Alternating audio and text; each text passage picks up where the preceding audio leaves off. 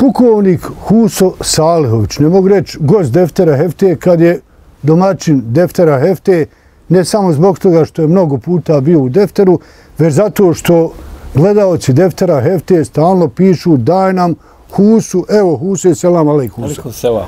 Dobro. Narod, bolje te našu narod, hoće da mu pričaš. Pa ja da znam šta, šta najviše voli da pričamo, pričali bi o tome, a ti vjerovatno imaš neki koncept, a meni je samo interes istina, neki istina. Narod je prepoznao da ti Huso pričaš istinu i da pričaš što niko ne priča i kaže de Huse što više i ja slušam šta narod govori. E sad ti ne znaš šta ću ja tebe pitat, bezbeli, a ja hoću nešto da te pitam što ne očekuje ni naroda, ne očekuješ ni ti. Dva momenta me zanimaju iz tvog privatnog života. Prvo, obećao sam ljudima da ćeš im ispričat kako je ono bilo kad su ti montirali optužnicu i ti došao negdje na to svoje Haman rodno mjesto kad narod od tebe pobježe zato što si pod felerom optužnice. Je li to tako bilo nekako? Tako je, ja sam prvo bio jako, kao i uvijek, kao i svako drugi kad pokrenu optužnicu, posebno za ratne zločine, prvo teško vam to padne, ali sam znao ovaj da ću ja to pobijeti, jer prvo sam znao da nisam kriv i rekao sam sebi ne smijem praviti propuste. E, u tome i moramo tražiti svoju šansu u, u lažima druge strane i njihovim kontradiktornostima i znao sam da će nas to odbraniti, što je i bilo na kraju. Da si dobio e, oslobađajuću praktično. Da, ja sam normalno oslobođen, ja nisam nijednog momenta to sumlju, ali ono, prvo čovjeku je teško to padne, mnogo to košta, finansiranje i tako dalje, znate da niste krivi, ali na kraju kad se to sve završi, onda kažete, hvala ti Bože što si me ovo dao, jer ja bošao s ovog svijeta ništa ne bi znao. I desila se jedna svadba, moj prijatelj Čupo i Šubina iz Srebrenice ženive brata, pa su ljudi otišli gore u selo da povedu mladu, to je bilo malo dalje, a mi smo ostali dole, dole gdje rudnik sase, tu je nekad bio vašer veliki petak, i puno je prijatelja moji bilo, poznanika, između njima je bio i nekadašnji ministar Radib Đozić, gdje sam ja puno autoriteta posle rata potrošio da ga proguramo, i onda vi vidite ljudi pored vas prolazi, okreću glav, prave, nas, pravi se da vas ne vidi, bez obzira što oni znaju da, da vi niste krivi. Ja tu nisam ni bio. Ovo što smo stavili na teret, ja uopšte tu nisam bio. Ni moj drugo optuženi prijatelj Ibro. Ali, ali su ljudi, ljudi bižu, Vi, to su ljudi koji ti znaš, jel? To su sve moji prijatelji, poznanici, komšije i tako dalje. Što bi se prije selamio, sad on pobježe. Da, i, i ovaj, posebno Adib. Adib je posebno tu poslije rata, kad je ga trebalo progurati u politiku i tako dalje, da ne idemo u detalje. A ja, ja nisam klonuo duhom, ja stavim ruke u džepove i ovako idem i samo ispogledam, kažem, mili Bože, može li išta biti jadnije od čovjeka. A ja uopšte nisam bio ni, ni ljut, ni prepadnut, nego sam jednostavno... Razočaran malo. Nisam bio razočaran, ja. nisam bio, nego sam analizirao u sebi št, e, može li išta biti niži od čovjeka. Hmm. Kako tako ljudi mogu biti jadni? Kako, kad se u nevolji, kako ljudi bježe od vas? Ali nije to meni nimalo ni jednog momenta da sam ja klono duhom. Ja sam prosto, e, što je nekoga ubijalo, mene je to hranilo. Ja sam rekao, ne, ne, ovo je samo meni je životno iskustvo, ja ću ovo pobijeti, nema problema. I tako je bilo na kraju. E, pričao se ono jednom kad si iz fonda koji je namijenjen za naše borce koje se procesuira, tražio sredstva, nisu ti dali, ali volio bih da ispričaš gledalcima Deftera kako si se ti borio da isfinansiraš svoju odbranu uzgajajući stoku, prodajući stoku i tako dalje. Morao si od nečeg pronaći pare za advokata. Mi smo dali samo advokatu 39.000. Ovaj, bilo je to podavno. Bila je vrednija para prilično nego sad. I ja sam ono reda rad utišao u ministarstvo za boračka pitanja, tamo je sjedio SDA ministar za boračka pitanja Asim Maljić, primio onako nezainteresovano, bez imalo zanimanja, onako protokolan reda radi, ja sam otišao, nikak, ništa nije bilo nikakve pomoći. Ja da vam kajem pošteno nisam nešto ni očekivao, znam ja kako stvari funkcionišu kod nas, otprilike moraš biti njihov bot, njihov igrač i tako dalje. I nije to meni ništa bilo čudno. Posle godinu dana smijenila je se vlada, došao jedan moj prijatelj Zio iz Gradačica, nisam znao ni koje partije, vidjeli smo se pred Princovo džamijom. On kaže, je rekao, gdje si Zio, šta radiš, znamo se dobro. Kaže, ja sam sad ministar za boračka pitanja i tako zajmili smo za moj slučaj, se zainteresovao. Ja kažem njemu, on, on kaže meni, jel te šta pomagao moj prijatelj Aljić Asim, koji je, znači, bio SDA ministar iz Đurđevika Koživinica, Rekao, nije. A on se čudi. Kako mi nije pomogao? A meni, ja se čudim što se on čudi. Jer ja nisam nešto posebno ni očekivo, znam kako stvari funkcionišu. Pa rekao, što se ti čudi što on meni nije pomogao? Pa kaže, čudno mi, on je za tu godinu dobio namjenski jer preraspoređena sredstva od 9000 da pomogne ako neko bude bio optužen. Znači, kantonalna vlast mislila na to I kaže, on je na kraju godine Razum. razdužio pare, a nama nije htio dati. Rekao, ništa novo, ja sam poslije toga, onaj... A kako ti, sa, sa svojom djecom, ja sam poslije toga hranio bikove, e, kurbane, uzbonove za kurbana. Uradio sam pozida ovdje, radili smo beton, izljali pozde kolektore, ti godina sam najmanje jedno 150 kubika ručno sa djecom izlio betona. Da bi financirao ja, odbranu svoju. Da, jer ja imam svoje dostojanstvo i ja se nikad ne predajem uz Božiju pomoć i, i nema toga što se ne može završiti. E, ja sam djecu još. tako i vaspitavo e, da živi... Taman si ti došao na, do, došao na priču o djeci. Huso, ti si podigu tri sina. Koliko im je godina sada? Pa moji sinovi su sad punoljetne osobe, e, zaposlene, oženjene, radi, nisu ni jedan otišli van granica ove države, hvala Bogu, svi su dobri, zdravi, radi i uvijek sam učio od mali nogu da žive pošteno od svoga rada. Naučio sam i da radi i fizičke poslove, ja kažem, treba znati teške poslove, fizičke poslove, rada čovjek nije teško, a lako je biti sutra doktor, advokat i tako dalje, ali treba znati navo i moje neko životno iskustvo kad čovjek prođe sav taj trnoviti put, njemu teško, ništa nije teško, ni sutra u rov, ni u rat, ne bilo gdje on je navikao na sve te teške uslove života i volio sam da moja djeca prođu kroz to i tako su oni odrastali, bez obzira što sam ja bio neki vojni činovnik, ali mi smo sebi šta god je trebalo i gradili, zidali kuću, sve smo radili sa svojim sredstvima, jer znao sam da će tu kod njih, da će i ojačati i da će biti čestiti ljudi, da ne žive od, od e harama kao mnogi drugi.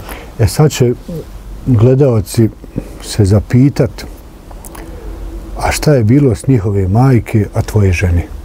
Moja supruga je poginula u ratu 92. godine. E, u Srebrenici. U Srebrenici, u, u, u tamo gdje sam ja rođen. Ja sam inače svog sela bio odselio prije rata i onda smo tu došli kad je rat počeo, supruga je poginula.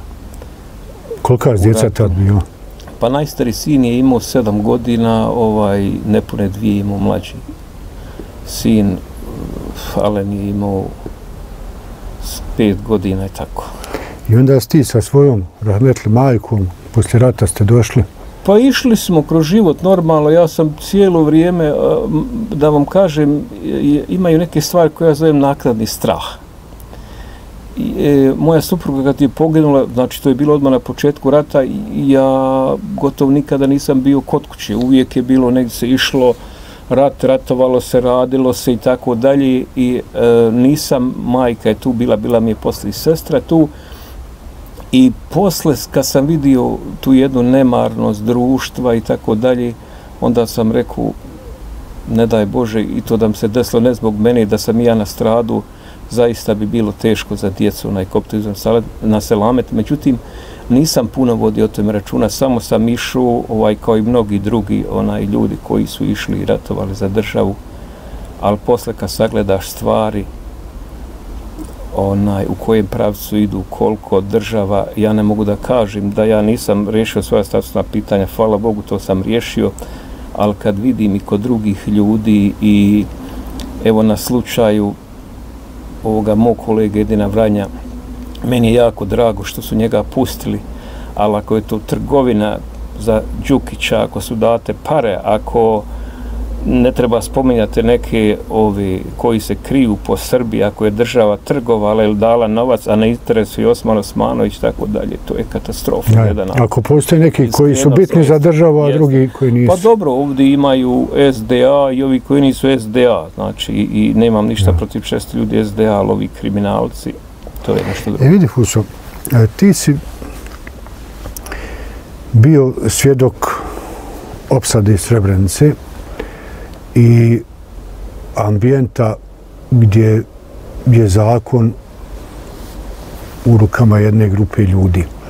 Kako ti komentaršeš tu mogućnost koja se najavljuje da postoje bošnjačke snage koje su zainteresirane da se ovdje uspostavi jedna bošnjačka politička teritorija, jedan prostor gdje bi bošnjaci, što oni kažu, bili svoji na svome? E, ja često u razgovor s prijateljima kažem da je Bosna sad jedna velika srebrenica i to će se pokazati. Ja se prvo nisam kretuo ni u vojnim ni političkim krugovima prije rata i čuo sam o nekim ljudima, ale naseri i tako neki drugi puno veliki stvari jer sam bio na periferiji kad je u pitanju Srebrenica i rat. Kad sam došao dole, I kad sam vidio i čuo od ubistva Nurifa, kasnije ubistvo Sade, atentate, silovanja, prodaja nafte, smjenu jednog časnog predsjednika, ratnog predsjednika Dina Avdića, kad sam ja vidio koji je to jad, u kojem pravcu ide, ja sam uh, govorio da ćemo mi stradati, mi ćemo doživjeti katastrofu, jer sam vidio da svi događaje unutar toga idu da pomognu velikosrpskom projektu koji su uh, htjeli da nas oštite s prostora, ali sam ja čovjek bio koji da imao sto života, on bi ih dao zaliju. Ja sam strašno volio Elise Begovića i govorio sam, mora nas raditi šta hoće, ali kad dođe, Alija će njemu sigurno odmeriti kaznu, kao je Tito, mnogim postavnog rata koji su radili loše stvari. I bio sam u prilici, bio sam kod predsjednika Izetbegovića u centrali SDA gdje je bilo sto značajnih ljudi i sigurnosti vojni i ostali službi. I kad sam rekao predsjedniku mnoge stvari u oči i kad sam vidio da je predsjednik stao uz one koji su pomogli četnicima, ja nisam mogao sebi da dođem i Bakir sad se ne odvajao tako. Ja ne mogu to da pojmim. Ne da ja budem tam, meni to ne zanima, nego ne mogu da pojmim da se drži neko toga, ali onda posle pogledam s druge strane, pa vidim ja da Bakir je na strani uz Memiće. Ja vidim da on kaže da je znao da će revizija tužbe propasti. Ja vidim da Sarajlić kad pravi onaj tamo haos za izbor kantonalnog, kantonalnog predsjednika u Saraju, ja vidim da ga Bakir brani. Ja vidim da obrani Nohalića. I onda kažem, pa oni su isti. Ja. E sad... I ja sad kao čovjek ne mogu, ne mogu to shvatim, ja znam Rejsa, ja odijem kod Rejsa i kažem Rejsa bola. Pa to je bilo u Srebrenici, pa to se radi poslije rata. Pa Rejse vi kupujete korbane od srebreničke mafije, narod se tam žali, kupujete puna, pa odem kod muftije. A onda čujem tebe i ka, gdje ti iznesiš zekijat ide za to. Pa kaže, onaj ide prihod skuplije hađ da bi se njima odvojilo, pa kurbani da bi se njima odvojilo, pa može se praviti i na trotuaru mezar, pa se može kopati ako se daju dobre pare, može se kopati tamo i, i gdje spomeni kulturne baštine, gdje je zabranjeno. I onda kaže, pa rej se, i onda se postavim pitanje, pa čekaj, ko je moralna vertikala? Jer, je li Rejs bolji od Pa čekaj, je on bolji od Ali znate šta je pojenta u svemu tome? Vjerska sfera, politička mafija, to je toliko umreženo da to običan čovjek ne može da svati. Pa rekao si mi da bi ti otišao iz Bosne i Hercegovine, eto nisi otišao, ni djeca te nisu otišla, svi ste ovdje, da bi ti otišao iz Bosne i Hercegovine ako bi se ostvorio plan da ovdje ostane neka bošnjačka državica? Ja sam e, slušao uvaženo akademika Rešida Hafizovića e, i kad on kaže ja u takvoj državi ne bi živio, ja u takvoj državi ne bi živio. A što? Pa svoj na svome, pa vjera, pa, pa ovo, zato, pa ono. Zato što um, oni ne, ne vide i ne gledaju dalje odnosa. Onaj ko dobije pomoć, ko dobije kredit, ko dobije od nekoga, ko od marke ne stvori dvije, on nema šanse da preživi. Nema šanse. Oni su se sveli da naši političari, ovi vladajući, da ovim što su pođabili fi, firme, džabe, da oni njima uplaću, oni ne vodi računa o radnicima, da oni drže stranke, da oni imaju položaje, da oni kupe sutra izbore, da ovi nije bitno kakav je Fendija, ne bitno je samo koliko može da iskupi para da pošalji. Nije bitno što je džamija prazna, ne. Ima li u njoj vjernika? Kak sve? Ne. Bitno je koliko možete novca dobiti. I sad ja bi razumio, ako je u interesu novac da se iskupi, to je u redu ali novac ne da prodaješ vakuf u Banja Luci. Ne, prodaješ u Sarajevo, a gradiš u Banja Luci. Gradiš u Zvorniku, radiš tu. Da se ne ostvari planovi Dodika. Ne, oni rade suprotno. Oni prodaju tamo, a kukaju na Dodika. Evo imam informaciju da je sad u Srebrenici ljudi stalno javljaju, ne mogu da provjerim, e, ovo je, nije provjerena informacija, da je skupljeno na hudbama i da je skupljeno u dijaspori 5 miliona 200 da se kupi jedna fabrika Feros u Srebrenci. Samo je, kaže, u gradu Minapolisu skupljeno 680.000 dolara. Feros je plaćen 780, sud Banja Luca osporio, to su još neprovjereni podace, 5 miliona i 200. I to će biti kao ono kad je Saudijski komitet dao 2 miliona za Srebrenicu, da se radi 50 kuća, sveli su na 5, Fejzić kaže da su 5 uradili, ostalo pojao Vuk Magarca i tako dalje. E tako mi pomažemo Dodiku. To je ono što meni srce boli zbog toga. Mi sve radimo kontra stvari. Samo nam je, samo nam je paravan celovita država. A mi... I vjera. I vjera, jeste ja. tako. Huso, hvala ti na ovom gostovanju. Mi ćemo opet doći, narod hoće da pričaš. Mi smo svoji, mi smo ja. svoji, pa mi živimo za državu i ovaj narod. Ka ja kažem, onaj živote nam mogu uzeti, more svašta biti, ali ne mogu nam uzeti ono da se borimo za svoju državu, jer mi samo jednu državu imamo. Tako je, Hus, hvala puno. Hvala mi.